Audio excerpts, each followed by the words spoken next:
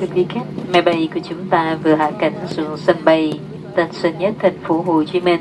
Bây giờ là 5 giờ kém 5 phút, nhiệt độ bên ngoài vào khoảng 29 độ C. Quý khách vui lòng ngồi yên tại chỗ dây an toàn được cài chặt cho đến khi máy bay dừng lại hẳn và đèn hiệu cài dây an toàn đã tắt.